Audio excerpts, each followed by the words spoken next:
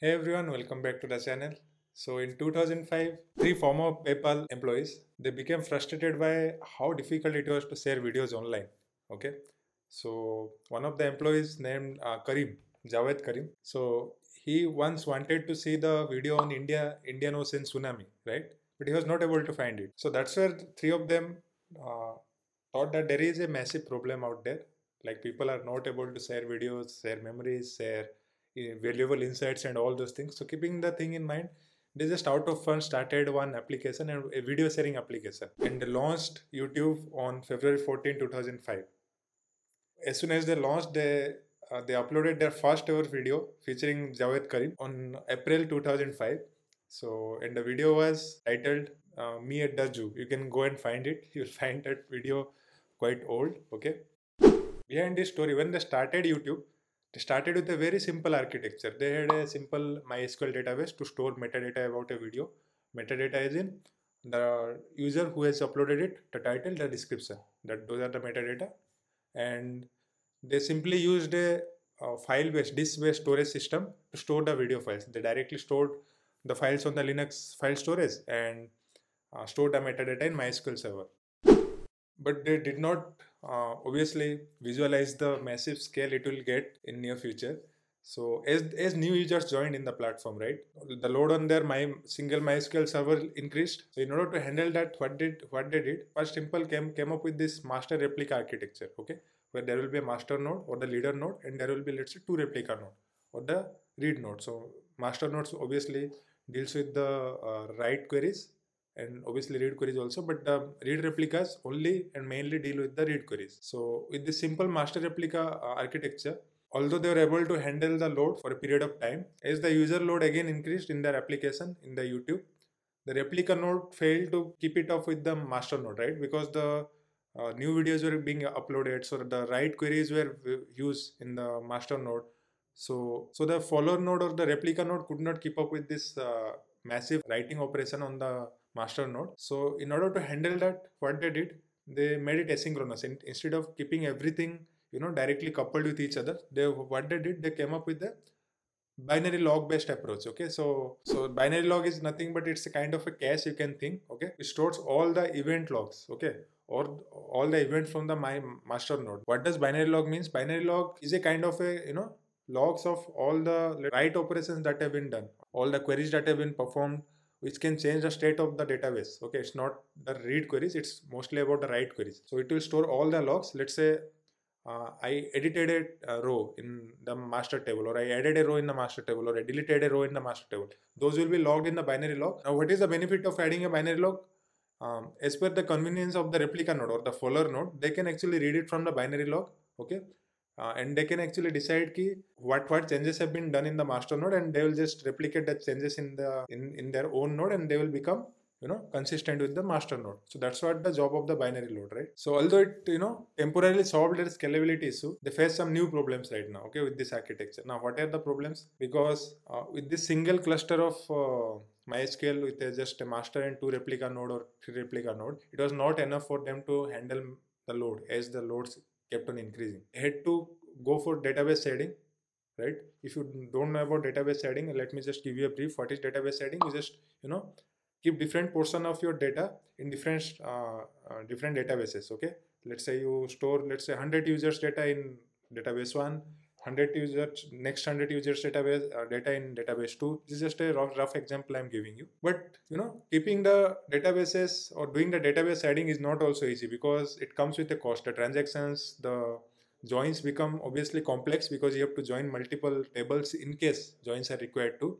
And the next problem is obviously the query routing right so your application must know which shard contains my user, right? Let's say you are querying about 150 user, which, which resides in the second shard. That means your application logic will now become complex. It needs to handle, do some extra extra processing before running the actual query, which can might actually slow down your application, right?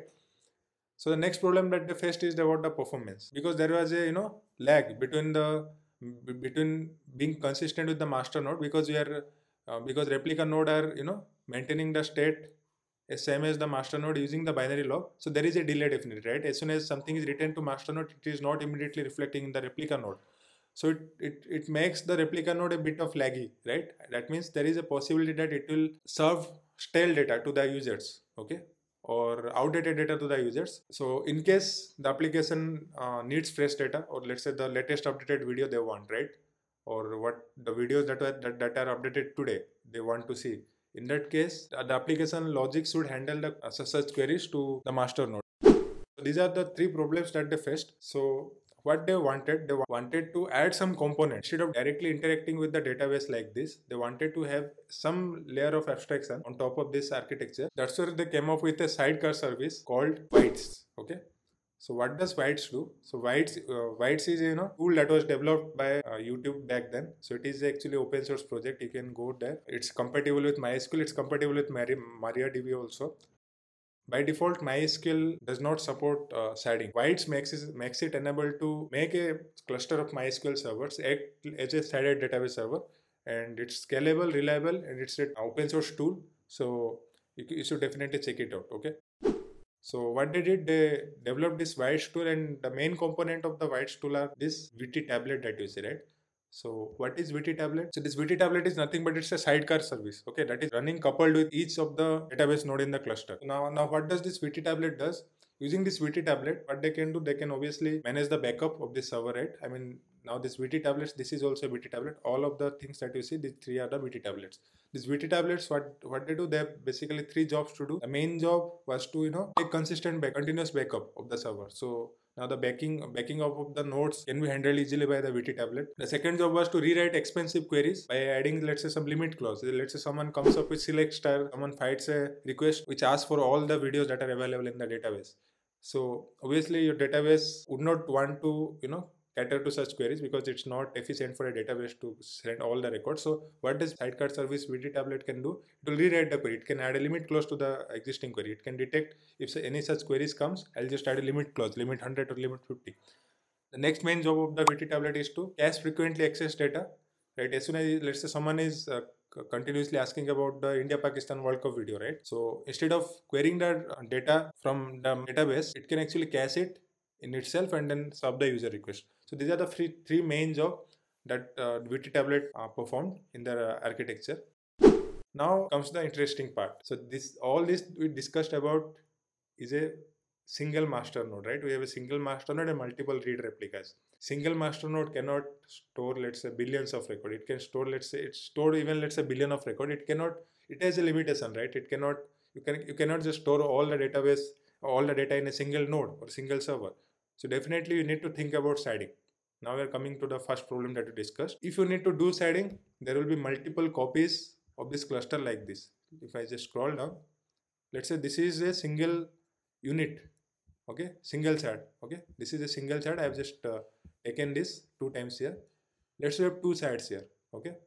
And you can see the entry point is the VT tablet for this cluster. Now, if you have multiple shards like this, you are implementing database sharding. You are storing different portion of data in different sides shards shard clusters like this. How do you route the queries? Okay, I mean, an application has to have a single point of contact, right? So they design another component in the Vitess and named it as VTGate. Now, what does VTGate do? It acts as a stateless proxy server, uh, which routes the queries from the application to the appropriate shard. That means if queries query request uh, select a name from uh, users where user is equal to let's say 105 just a rough example i'm giving so VT5 knows that that 105th users lies in the second side. I should route the query to this side instead of this. How does VTGate knows that? Because VTGate proxy server is attached with a key value store. And this was built using Zookeeper. They use Zookeeper as their key value store. So this key value store has all the information about the sharding, all the schema that is involved in the tables, and which shard contains uh, what data. All this information is stored in this key value pair. Okay. Now using those information, VTGate now det determines and understands which shard contains the data that the user is requesting. It analyzes the query, then sends the query, routes the query to the VT tablet of that particular site. Now using this uh, VTGate, they were able to find the correct VT tablet, obviously as you discussed. They were able to keep the number of MSS, uh, MySQL connections quite low using mechanism of connection pooling. It can obviously uh, limit the number of queries that, that will be transferred to the actual database server. So it uh, protects your database server from overloading obviously. It can uh, limit the number of transactions that are uh, triggered the app and it makes this entire architecture looks like a single monolithic MySQL cluster. So using this simple yet effective architecture, they were able to support two, almost 2.5 billion users at a one point of time. Obviously, as they uh, grew, as the number of users increased in their application, it was acquired by Google. Okay, then they moved to Google Stack. They used Google file storage instead of Linux file storage to uh, store their data. They moved to a microservice-based architecture. All the stuffs are there, but with the simple architecture, they made a MySQL server, okay, which does not support sharding still by default. They were able to create a sharded cluster of MySQL server just by using some sidecar containers and sidecar services. Okay. Today's date, Vitess is a open source project that is widely used by a lot of clients in production, which makes a MySQL based server scalable, reliable, and shard compatible, right? Sharding compatible, and obviously high level. You can see the features here. They've defined all the features here, right? So if you want to make your MySQL or MariaDB based database cluster scalable and highly available cluster with sharding enabled, so you can definitely give this Vitess tool a try. Okay? It will definitely help you. So what did we learn from this video? See this video tells us like how you face problem and engineer that problem. Think about that problem how to come up with steps one by one. The main reason why i created this video is to make you aware how to approach a problem okay? A problem cannot be solved 100% in, in a 100% efficient manner in, in day 1 or day 30 it takes time okay? You build something you face some issue you think something better then you implement. That's how we should approach a given engineering problem. So well if you like this video i would request you to subscribe to my channel. Keep supporting. I create this kind of deep tech based videos, system design based videos with use cases. Where I, I get to learn something I feel like I should share. I create this kind of video to help you guys learn something new every day and be a better software engineer than yesterday. Okay. If you like this video, let's target for 50 likes for this video.